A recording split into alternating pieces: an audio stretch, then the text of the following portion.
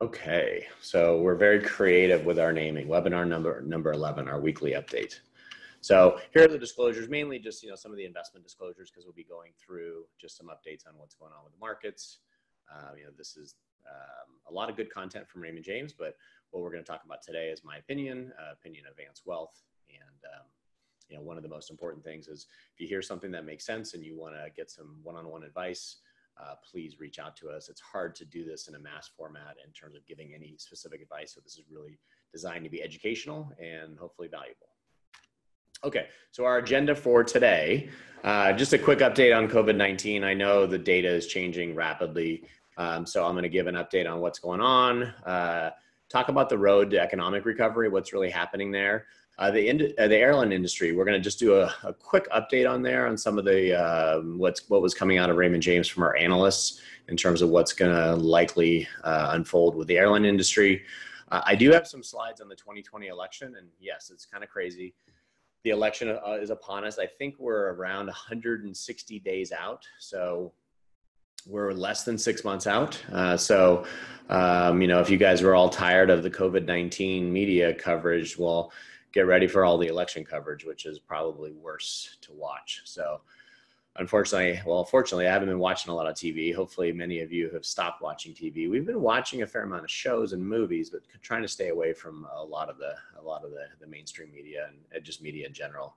It's too noisy, a little bit too depressing. So I prefer to read the journal and read the Times and just read different sources. And so hopefully you guys are finding good escape. Uh, so we'll talk a little bit about the election, then we'll talk a little bit about just some investing. Um, there's concept growth versus value. So I'm going to talk a little bit about what's going on there, and that's kind of it. So let's move on. So, all right. So one of the things that we all know is that the states are starting to reopen, counties are starting to reopen, uh, and you know everywhere around the country is different. Um, and if you um, if you think about well, Trump actually put together some criteria for basically how to reopen. And uh, if you look at the chart on the left hand side, this actually shows you uh, all the different states, and it shows you the states that are meeting the criteria. So I think it's something like um, maybe seven or eight are actually meeting all three criteria, which is going to allow them to open up faster I think we have only three or four states that are only meeting one criteria, and then with the majority in the meet meet the two criteria. So one of the things is that we're we know this is starting to happen. We're starting to get, and we see this here in California. We're starting to see you know different counties have a different approach. Um, but one of the biggest thing that's going to be interesting is you know what can we potentially have like a second wave, a second wave of of illness, infection, and, and a respike. So I think the next slide, I'm going to go through that. Uh, but one of the things that's been happening, so this chart on the right is showing the states that are easing restrictions, and it shows the number of states on uh, number of states on this side, obviously 50 being uh, all 50 states, and then it shows kind of different areas of what's getting back. So look at where we are today. Um, well, this was, a, I guess we're about a week old now on this date, but um, yeah, about a week old. And so you can see kind of the, the stay at home, the food and drink. Um, and you can see this is now all of these are about 30 states and uh, 30 states and above. Uh, then this top one is outdoor recreation. So I think I don't think it's all, but maybe 48 states that have really eased restrictions for outdoor and recreation. So this is obviously a good sign. Uh, this is what I think a lot of people are calling for, so that we can get back to work and get things functioning again. Um, so, but again, this is where you know there could be uh, some risk here for uh, for the economy you know depending on how things uh, how we go back if we're not distancing properly and if we're putting ourselves in in harm's way. So one of the things if we look at a lot of this heavy data and i apologize i know there's a lot of data when it comes to this but one of the thing that we are seeing is new cases in the us are trending down. So if you look on the left hand side it shows us uh, new cases and you can see these little uh, it's like dotted uh, gold lines and the trend is heading down. The trend is heading down on a path where it would suggest that June 25th to July 10th is kind of this uh, period of time where we're not going to go to zero, but where we get to a really low number. And so that's at least the pace that we're on, which is a great thing. You know, we did our job here. Um, and um, you know, when you start looking at where we're heading, that looks great and everything, but look on the right hand side. So, and I think this is what gets people a little bit nervous. You look at some states like Georgia, South Carolina, Florida is a good example of this, where you can see Florida, they have their dotted line kind of in the middle here. Oh, let me get my pointer. Um, they have this dotted line running right down the middle, and this is when the stay at home orders uh, expired. And then if you look, that's when a bunch of cases were dropping off but look at what's happened. We've seen a little bit of a spike. So, you know, as we have more engagement with people, as people are, are coming back together in the work in the workplace or gathering, social gatherings, we're definitely going to see a spike here. So the question becomes, can we keep this under control? Because I think the one thing that we'd all are all are fearful of is if this spikes, do we go into another shutdown, which would be highly disruptive for our economy? Uh, because I think the best case scenario is that we make incremental changes, inc- incremental improvements where we get to the point where okay we start getting back to some normalcy. And again that's starting i think in california a little bit later than everywhere else. But it's also because we have we're more at risk here. So you know this is where the, this is where we're trending. One of the reasons why we're doing these so often is these these uh, these data points are changing and changing rapidly. And so again the, the news is good uh, but we're not out of the woods. We still have you know we still have a lot ahead of us. And you know most healthcare professionals and and experts are you know predicting this is going to be with us for you know at least a year um, hopefully to a lesser degree but uh, for at least a year. So we have to be prepared for that. Um, one of the things that i think is getting the stock market excited uh, or at least excited for periods of time is the fact that i think there's over like a hundred companies projects worldwide that are focusing on developing some sort of vaccine or therapeutic to deal with this. And so we've seen a lot of these companies and by be putting these companies up here this is not a recommendation to buy these. It's mainly just to kind of give you an update on what we're seeing. And you can see it was the gilead's uh, remdesivir their product and then regeneron were the two big ones that were were really looking at had a more uh, more progress maybe than anything else. And so you know what you're all you are seeing in this space is these stocks have been really volatile and a lot of them heading up because of the promise of you know some sort of therapeutic the promise of some sort of vaccine. But then you can see all these big companies like j&j pfizer and they're where they are. They're all still really early. So even a lot of the optimism which i know a lot of people are starting to feel you know they're still saying that these vaccines some of this is is still we're looking at january of next year. So we still have a lot of time uh, but that's going to allow us to have more confidence. And so we're de- we're seeing progress we are we're also going to see fits and starts meaning we're going to look like we're making progress and then it's like hold on we don't have enough information. Because that's one of the biggest challenges is that we don't have a ton of information with these trials. They're not long enough and there's not enough people.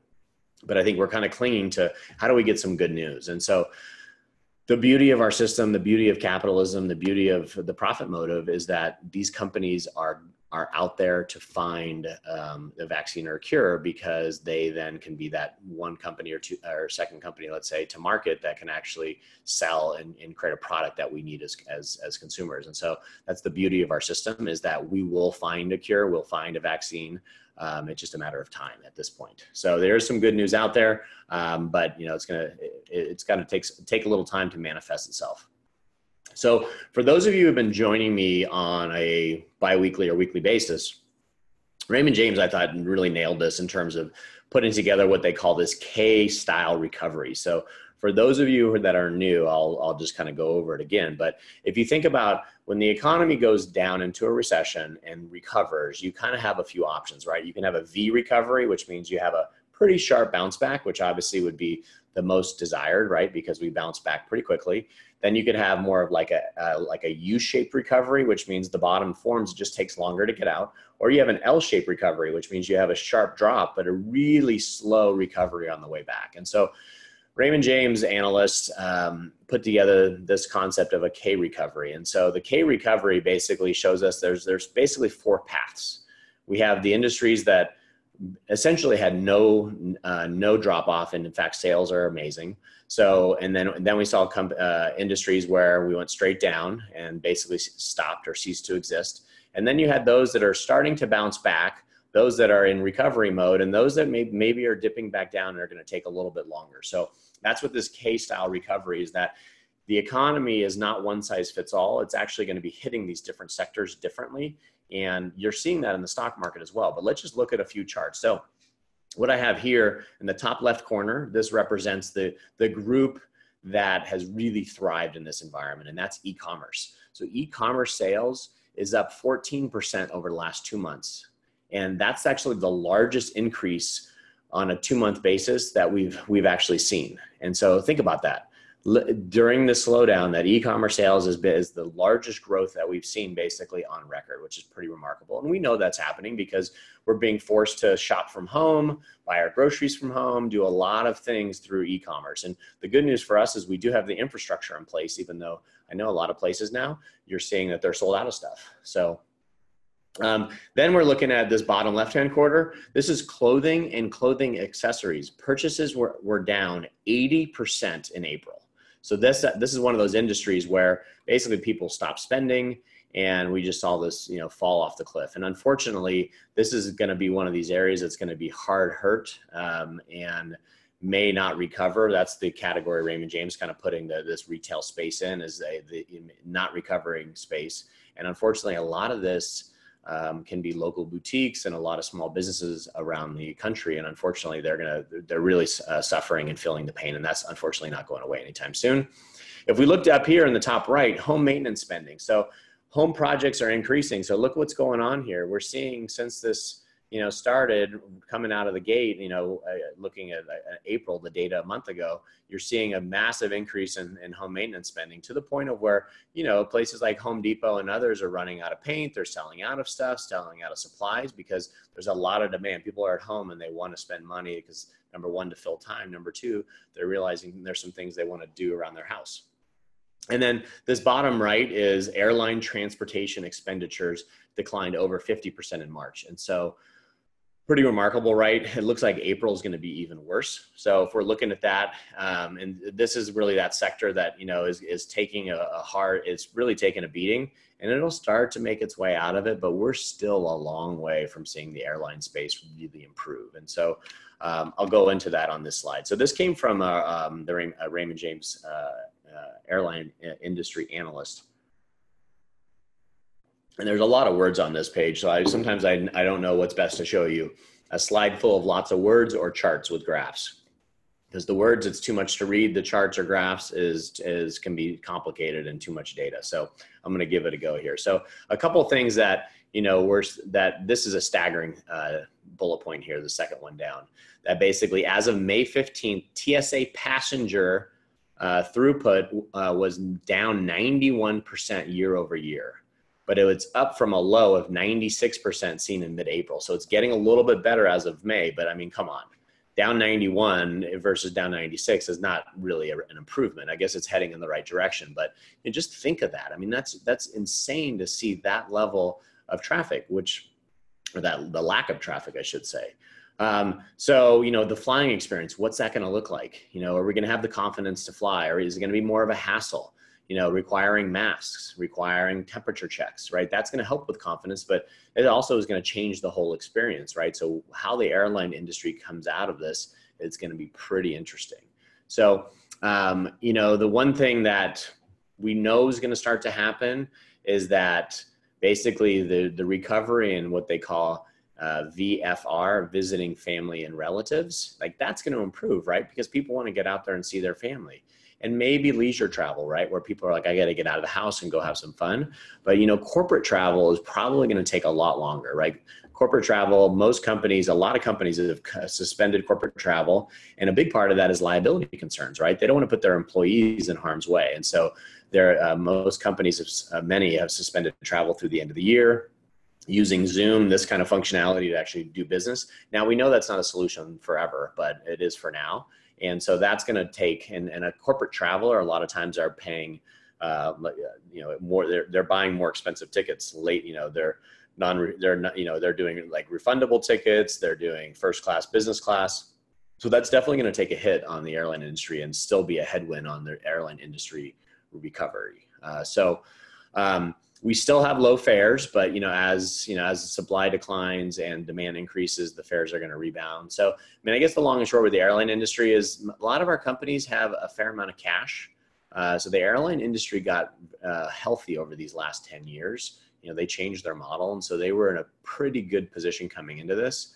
Um, So I know p- there's some value investors that are out there looking for things like this. Uh, you know, my taste is uh, maybe a, a, little bit too early, but again, we don't really focus on individual companies. So, you know, just kind of the take the U- U.S. airline industry came into this strong. Um, we'll make it out of this, but it's still going to be tough. You know, there's all that conversation about what's going to happen with a middle seat. Are they going to get rid of it? Just going to change the whole experience. all right. So, given that I I am allowing for when I say allowing for, um, I allow, oh, I'm going to have some Q and A. It's a little dangerous in this setting to have some election updates. So don't shoot the messenger. And frankly, you know, how good is the data really? So it's a little bit of a guess. So I'm adding this in here as a little bit of fun. Now I know the election conversation is not fun. We're, we're actually a, a very divided uh, nation right now in terms of uh, looking at the parties. So I'm not trying to make fun of that, but I mean just a little bit of fun in terms of just what's what are the what are the uh, polls saying? What are some what's some of the data that's out there? Just to give you guys some perspective of what's happening. So this is some data that came from Wall Street Journal. That was just in a, a recent poll, and so on the left hand side it shows that Biden is preferred to handle the uh, coronavirus response. And then if you look on the right hand side, this was the, um, the, the, the, polling that said Trump is preferred to handle the economy. So um, you can see um, that it's you know almost basically a mirror image of itself in terms of what it looks like. Um, in terms, so the one thing is, and I don't think that's a surprise. I mean, I think that generally, whether this is right or wrong, there's this idea that Republicans handle the economy better and Democrats handle social issues better, right? So I think that's how this is kind of coming out, and it looks like this poll pretty much voted right down that line. Again, whether it's right or wrong, that's just what what is polling. So just wanted to give you my thoughts on that. And then this is a noisy one, but the one thing that, you know, we know this election is going to be dictated by swing states like Michigan, Pennsylvania, Florida, Wisconsin, Arizona. Those are the big swing states. And if you look at national average of, un- of unemployment right now is around 20%. And two of the biggest swing states, Michigan and Pennsylvania, are getting hit really hard. So, you know, that's one of the reasons why actually right now uh, Biden's polling better.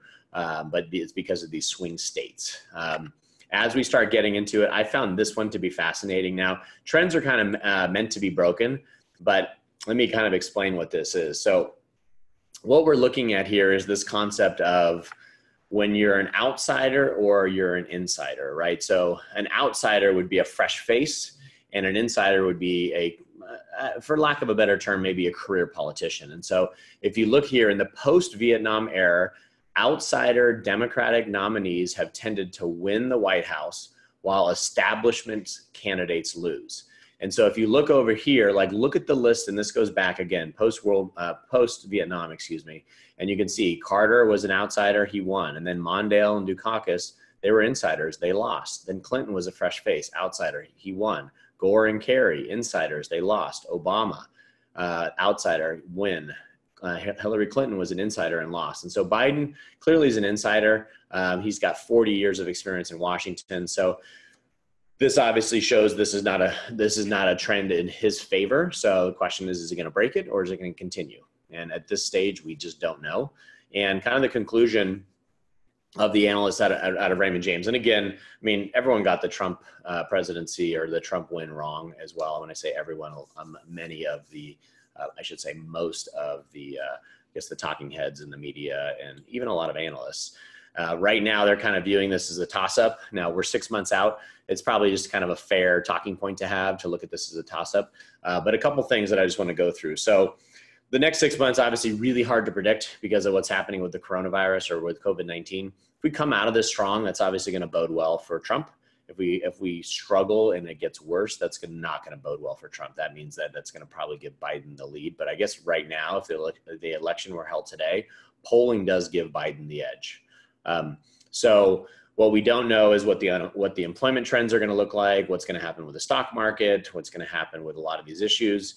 Virus fears may impact vo- uh, voting behavior, right? So you know what's going to happen with turnout. Um, that's a big that's a big concern. And then the, the, the, the, the talking point we're going to have right now, or I should say over the next several months, is going to be who is Biden's running mate going to be? You know, are you going to have somebody that tends to lean more on the left and, you know, really goes after the Bernie fans or more of a moderate? which is going to be designed to go after those more moderate Republicans or the swing voters. Um, there's a lot, there's a big, I guess conventional wisdom is saying that Biden will likely pick a female running mate. So, but we will see. So lots is coming up. I tell you, just with full disclosure, I got this totally wrong two years ago. So for what it's worth, uh, take that as a grain of salt. I'm just kind of reporting some of the, the data that I'm seeing. Um, and then these were some of the surveys with just actually that came out of Raymond James clients that kind of talked about, you know, what are the likely scenarios. And the, the one that had the highest probability of occurring, doesn't mean right or wrong, was Trump winning um, the White House, but with the Democrats controlling the, the Senate, excuse me, the, and the Republicans controlling the Senate and the Democrats controlling the House. And so uh, kind of split government, which is one of the things I think that we tend to favor. Um, well, you just don't know because it comes down to those swing states. Um, there's just there's too much up in the air right now, uh, and you know I do think our our political dynamic is going to be, or I should say, our media dynamic is going to shift in a major way. Probably once Biden announces his running mate, and you know if we get go through the convention process. So it's going to be fairly interesting. I don't really love the political dynamic, but you know what? We're going to be in the middle of it, and so we just got to take it for what it is. So um, I thought this was kind of interesting. So, you know, what if what if COVID nineteen is still there, still very present on election day? You know, what does that look like? Um, I've been doing mail-in voting forever, just because it's convenient. Um, but you know, is that going to be a reality? Is that going to hurt um, one party over the other? Um, you know, different states. I think the state of Washington is always um, mail-in ballots, right? So you know, by doing mail-in, they might have, you know, longer time counting, maybe delayed the announcement date. So there's going to be a lot of challenges when it comes to this. And, and also they're going to probably have to expand the voting window, right? Because if COVID is an issue, you know, having everyone come on the same day and long lines is just not going to work. And so we're probably going to have a change in the way um, that our elections are, are, are being managed and how we manage the election day. So stay tuned for that because I know when you start getting into changing how things have been done, everybody gets upset because they feel like you're going to disenfranchise people and you're going to people are going to get left out of the mix. And obviously, if you're fearful around it and you just don't want to go to the polls, um, you know that, that's obviously not great for our for our country right? We want people to vote. And uh, so the bottom line you can see on their fear and inconveniences i feel like inconveniences is the biggest one. People have to wait in long lines hours and hours. It's going to discourage them from voting which again is not a good thing. That may tend to favor um, trump um, because he his base is uh, seems to be a lot more excited than than than Biden's base at this moment. So it's going to be that swing voter to see how things how things kind of play out. All right, so kind of transitioning from gave you a COVID update, gave you an update on some of the political uh, talking points that we're just starting now, and then I just want to dive into what's going on with the stock market. So, one of the things that I think we all inherently know is there's certain industries that are thriving right now, right? And there's certain certain industries that are that are dying, that are really struggling, and the stock market is reflecting that to the T. So, if you look at this chart on the left hand side so this on the on the this this graph over here on the left shows that the basically s&p sector dispersion is widening meaning sector dispersion the the difference between what one sector is doing versus the other. So the best this was as of may 14th so it's changed a little bit but the best part of the market year to date was technology up 1% with the worst industry being energy down 40 so think of that that's a 41% difference in performance in five and uh, in, in not even five months. And so that's pr- that's very wide dispersion. It's the biggest dispersion we saw since 2002. And then when you start looking and breaking it down, basically on an end, uh, an industry level, the best performing is internet retail, which is you know the Amazons of the world, let's say, and the worst performer is airlines. So and the spread is 87% because the internet retail is up over 20 and airlines are down over 60 so just think about that. It's it's a remarkable thing. And if you if you think about what's actually happening internet retail wireless telecom software biotech metals and mining because gold's been doing okay tech hardware. So you know that's this really small pocket of the of the stock market that's been doing well. Um, I, I, right now i believe it's something like over 400 companies. Oh here it's on this slide. So if you look at then the Dow, so the Dow Industrial Average is only 30 companies. um, only five of the companies on the Dow are positive this year, primarily in tech and consumer. So Microsoft and Apple, Home Depot and and and uh, Walmart, and then you have J and J. So those are the only positive companies right now in the Dow, and then you can see the majority are negative. And then if you look at the S and P, look at the look at some of the performance. I think the best performing is maybe up 50%, with the worst performing down 80. And you can see, look at this: uh, 418 companies are negative year to date. Um, and the best performing stock is outperforming the worst performing stock is uh, by 166%. So that's one of the reasons we've been talking to you and talking to clients about re-looking and revisiting active management in an environment where you're going to have winners and losers. Buying the broad market is probably not going to be the winning uh, recipe. Being more selective is likely going to be the winning recipe because there's going to be certain industries that are going to thrive and those that are not going to do well. Now, the thing we have to be careful about and I don't know if this goes into, yeah. The thing we have to be careful about is the fact that, and I hear this from clients, oh, technology is great, healthcare is great, you know, communication is great. Those are all great sectors, and we don't disagree with that. The problem is, is those sectors are also very expensive, right? Because people are buying them, and that their prices are up, their stock prices are up because there's more demand. People want to own those sectors because they're thriving. And then you have other uh, uh, sectors that are way underperforming and are cheap because of the fact that people don't want to own them. So one of the things you have to be careful of is yes, technology, healthcare, these areas are going to grow a lot faster than the rest of the market, the rest of the economy. But when you have valuations get get that uneven, that doesn't mean these are going to be the best investments. So it still makes sense to take a balanced approach because the favorite sectors are expensive but are probably going to keep growing. The uh, the unloved sectors are cheap. So even if they just bounce a little bit, you can still have a decent return. So that's why we do favor a more balanced approach rather than just owning kind of what's popular. I think that's the dangerous thing that people are going to do. I also feel, and I think you probably heard me say this before, I also feel like we're going to get a fair amount, there's a fair amount of day trading going on right now. And the day traders tend to favor the high growth names. And why is there day trading? Well, there's no sports to bet on anymore, and people have more free time. And so there's a lot more trading activity that are going on that, uh, you know, individual people who are not well trained in this are just trading on a day to day basis. Uh, some of obviously it's to make money, but you know some of it is also for for the sport and the feeling of, of trading and, and, and gambling a little bit. And so we always like, it, like to take more of this long-term approach and, and, and be much more focused on making good decisions over the long haul. Okay, we're doing okay on time. So this um, this is kind of the good, the bad, and the ugly, and ma- mainly it's the uh, it's the ugly. But um, so the first quarter earnings were terrible as expected, but the second quarter is going to get worse. So if you look over here on the S and P 500 earnings, we're looking at the second quarter earnings likely going to drop by about 40%. So we saw about a 13% decline. We're, so the, the second quarter is going to be far worse. And then you can start seeing the recovery. So the one disconnect that I think everyone, most people are feeling is that the data is still getting worse. Why is the market going up? Well, the market's going up because it's anticipating the change. It's anticipating that things are going to get better in the future and that's why people are investors people invest for the future not just for a one uh, for a year or for a short period of time and so you definitely see we're going through the pain today and the recovery doesn't look like it's coming till 2021 but that's one of the things that uh, investors are anticipating what that future is going to be so and there's been a fair amount of like surprises out there uh, and you know when you have markets that are beating or um, you know or sorry companies that are surprising to the upside or surprising to the downside uh, you know they're they're being rewarded and punished kind of equally. So just know second quarter earnings, which are going to be more in July August time, are likely going to get worse. But we do believe that the markets are are factoring that in already.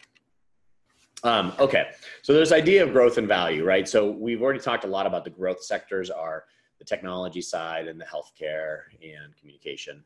And if you look at over the last 15 years, this shows that the total return between growth and value is that growth is outperformed by about 200% over this period of time, um, which is remarkable. So, because if, if you look back and you go back over the last 90 years, value has outperformed over that period of time. So, growth has really had an amazing run, and this level of difference, uh, we hadn't we haven't seen this since back in 2000, right around the dot com bubble bursting. So, one of the things that we definitely warn clients and we make sure we maintain diversification as well.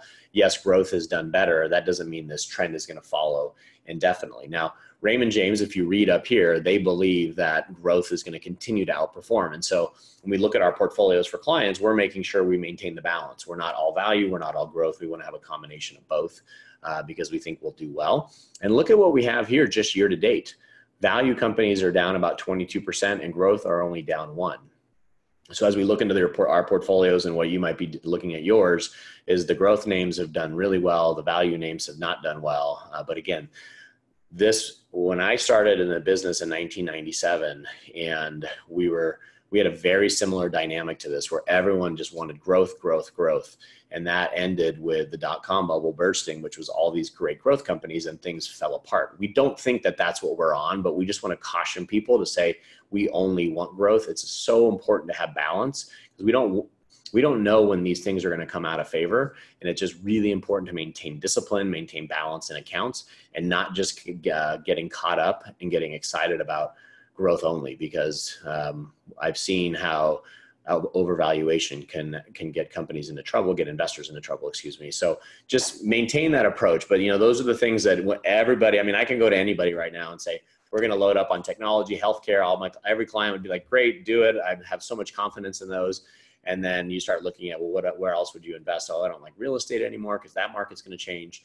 You know, whenever everyone feels super confident on one side of things, um, you have to be careful there because the bal- balancing a portfolio is where you have success over a long period of time and not just focusing on what's popular so just be be careful there because we're seeing a lot of that um, this is a little bit more of kind of the same. Uh, it's kind of there's a lot of data here. I'm just going to jump over this one just for time time perspective. So this gives you a little bit of sense. I do get the question a lot, like, well, you know, what does that mean, growth versus value? So this just shows you the top 10 companies on the on the Russell 1000 growth versus the top uh, 10 companies on the Russell 1000 value. So if you look at the top companies here, Apple, Microsoft, Amazon, Facebook, Alphabet, which is Google, you know, those are these are all actually positive and you take the top 10 holdings and they're actually up 8% for the year. Then you go over to value, which is names you recognize but just in different industries, you know, Berkshire Hathaway, which is Warren Buffett's company, you know, JP Morgan, Johnson Johnson. Exxon, right? Going down the list, they're down 22%, right? So um, this gives you a, it shows you what's what's been going on in these two different sectors. Um, and you and you know the, the, the remarkable thing is that if you look at this, uh, the top 10 companies, it makes up 36% of the index. These 10 companies make up 36%, a third of the Russell 1000 growth uh, stocks. So just pretty fascinating to see that list. Again, maintaining balance we think is really, really important. Um, then lastly, as we kind of wrap up, so you've seen this replay. This is kind of that summary again. On the left-hand side shows really what are the positive catalysts that are going to drive returns higher. And the plus sign is the monetary policy by the Fed, the fiscal policy by the federal government, the stimulus packages that are coming in. Looks like we might be on the verge of another big one which I hopefully they'll slow it down and do it do it a little bit more effectively. Uh, and then the development of a vaccine, um, and then not no longer dominating the nightly news. I think we're going to switch from, like I said, COVID nineteen to the election. Um, but those are the positive, the potential catalysts for positive returns. Most of this is baked into the system. These are these two here are a little bit of an unknown in terms of the timing of when that's going to happen. But what we do expect is more volatility. We've seen this really amazing bounce Going forward, it's going to be tougher because earnings numbers aren't going to be great uh, for a lot of industries. Um, unemployment issues are still going to manifest themselves. And so these are some of the catalysts that we see for future market volatility. You know, a second wave of more cases, uh, fa- failure of some of these vaccine, vaccines that people get excited about. Political risk is clearly one uh, that are making people nervous. And then geopolitical, right? We're still seeing the tensions between uh, us and China and the rest of the world this is not going away. So even though we have this crisis going on, there's still these risks that are out there. And again, this is not a concern for the long-term health of the of our economy, but definitely in the near term and you know presenting some some real challenges for for market volatility. All right. So what's next here? So we're wrapping up and then we'll do questions. So if you have questions, put them in. Let's see if I have any in the queue right now. I do. I just have one. So if you'd like to ask any questions, this is a good opportunity because I will be able to uh, to answer them for you. So here's what we have next. So we're going to do in two weeks webinar number 12. Um, one of the questions I've been getting a lot, and this just takes a lot more preparation on my end, which I'm happy, which I'm going to do for this next one, is will we have high inflation as a result of the stimulus? With all the printing of money, are we going to have inflation, and is inflation going to be a problem? What will this mean for our national debt and future taxes? So that's been a big topic, and while I wish I had all the answers in a, crystal ball, I don't. But I'm going to share with you some of the his, historical facts and what my expectations for that reality. Uh, that will be in two weeks. And then webinar lucky number 13, uh, which will be June 23rd. I'm going to share some of my controversial and crazy ideas on how to fix the student loan crisis and, and how to repair the social security system. So I will get definitely give an update, but I'm going to go in into the weeds a little bit on uh, social security and student loan issues. You know, I kind of feel like right now, hopefully we have, we're trying to rebuild and, and stabilize this economy. But then I think we, as a nation, need to fix some of our big structural issues that, unfortunately, I don't think either party really wants to tackle because it's so unpopular from a political perspective. And so I'm going to talk a little bit about this, a little bit controversial. So it's just going to be my opinion on it. I have some crazy ideas on that. So I'll share that with you on that webinar. And then starting in July, we're going to go to uh, monthly. So we're going to host on a monthly basis we're going to target the third Tuesday on every month at 4:30. Hopefully, this works uh, well. So that'll be July uh, 21st. And so we're going to do our best to, you know, obviously get this out. Tara does, you know, alerts you guys through email uh, and through social media. So uh, hopefully today was valuable. And now we're going to jump into some questions and let's just see what we have for today. So let's see. Um, it says, "Hi, John. Can you please explain in a bit more detail what Vance is doing regarding reallocating portfolios. Okay, so that's a really good question. Um, so let's talk a little bit about that. So one thing, just to caveat that is, you know, asset allocation is very particular to each person, right? So it's hard to give a, a, kind of a generic term, but I will share with you what we have been doing, and this has been occurring over the last um, over the last two months, pretty much across the board for clients. So the, the biggest change, the, the first change that we did is we reallocated, which meant our stock allocation had declined um, so much because of the sell-off that our mixture was out of alignment. So let's just say you have a typical growth portfolio and you have 80% in the, in the stock market and 20% in fixed. Because of the sell-off, that 80% became 20, uh, 75 and the fix grew to 25 so part of our rebalancing process is to get it back to that 80 20 so that's number one is we want to make sure the risk and the growth assets are equally balanced um, based on you, our clients objectives their uh, and their risk tolerance. So that's number one. So that's something that's happening ongoing. When we have volatility it's a little bit more pr- uh, pronounced and we're actually um, but that's something we do all the time. What what the changes that we're we're making that are different now than they have in the last let's say five or six years is that we've been going in and replacing some of our more indexed or passive investments um, things that are just tracking the market um, and we're focusing more on active management where managers instead of owning um, you know let's say thousands of holdings um, are going to be owning 40 holdings, 50 holdings, 60 holdings. Now, we still have broad based portfolios, but we're adding more active solutions in there because we think that over this next five to 10 years, that because of the discrepancies of, of companies, that uh, good active managers are going to add value there. So that's one of the things we're definitely encouraging. We're trying to look at clients who have 401ks that are not with us that we need to look at reallocating. But all of these things we're looking at to make sure that you know our portfolios are positioned for this next decade ahead. And well, I think a lot of people are really focused on what's going on today, which is which we need to be. We're focusing down the road. What's this next 10 years going to look like? And how do we make good decisions today that are going to position our clients and reward them accordingly? Right. So um, obviously we don't have a crystal ball, but it's our job to be making these decisions. And so that's been a big part of these changes is, is making that adjustment to where we think uh, the returns are going to go.